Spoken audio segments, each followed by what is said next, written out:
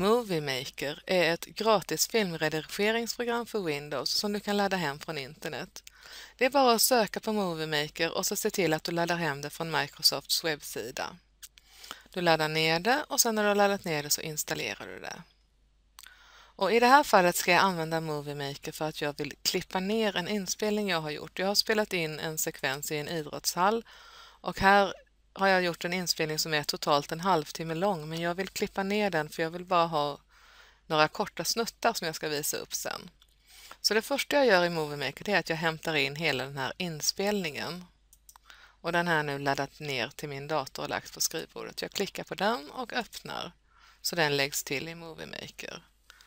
Och då är det så att det kan ta väldigt, väldigt lång tid att läsa in långa inspelningar i Movie Maker.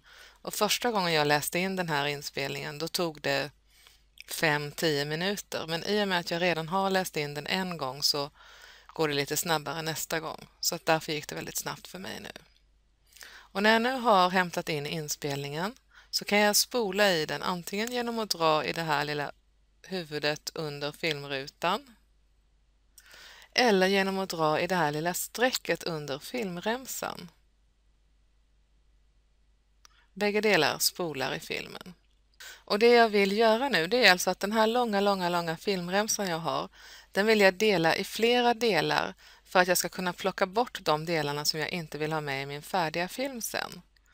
Så jag får ta och spola tills jag hittar någonting som jag vill ha med och när jag hittar en plats som jag vill ha med så klickar jag på fliken redigera och dela. Och då ser du att det delade sig liksom i två klipp här. Och den här biten jag vill ha med den är fram till dit efter den servern. Och sen delar jag igen. Nu ska vi se. Den här delen vill jag inte ha med, den delen vill jag ha med. Och sen är det en del på slutet som jag vill ha med också så jag får leta upp den.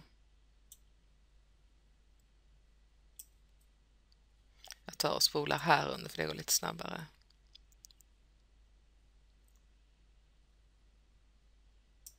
Här är, kommer en annan sekvens som jag vill ha med. Jag ställer spelarhuvudet där den ska börja och så delar jag. Och sen så drar jag fram till stället där jag vill sluta mitt klipp. Och det är där. Och så delar jag igen.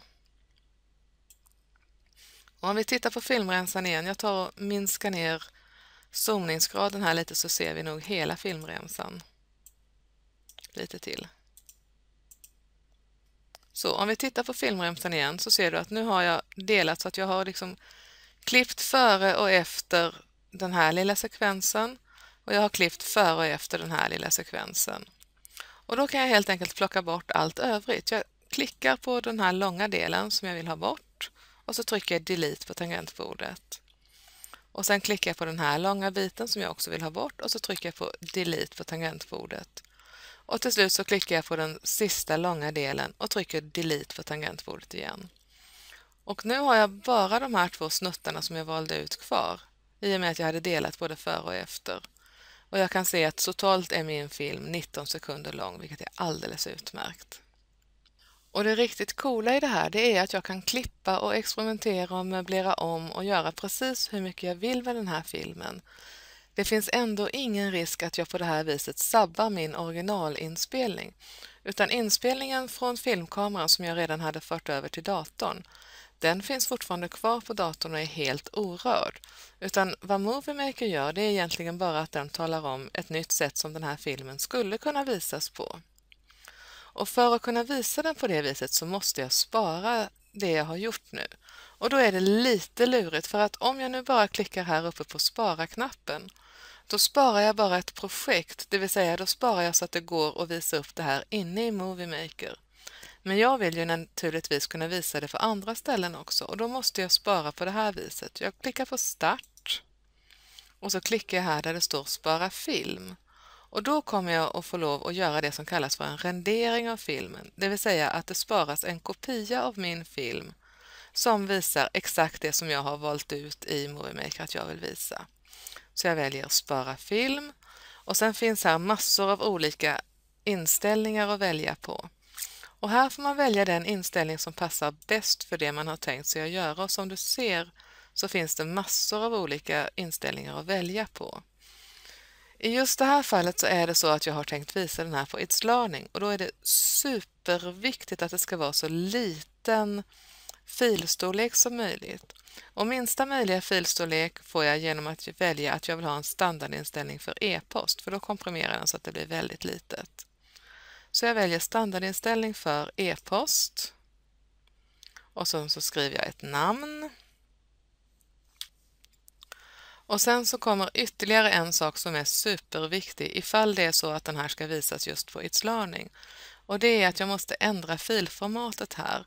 För Movie Maker i nyaste version föreslår att jag ska spara som MPEG 4, vilket för det allra mesta är ett väldigt, väldigt bra val. Men just för att kunna visa upp den inne på It's Learning så måste jag byta här och så välja att jag vill spara som VMV istället. Och sen så klickar jag på spara. Och då kommer det upp en liten mätare här som talar om att den sparar fi filmen.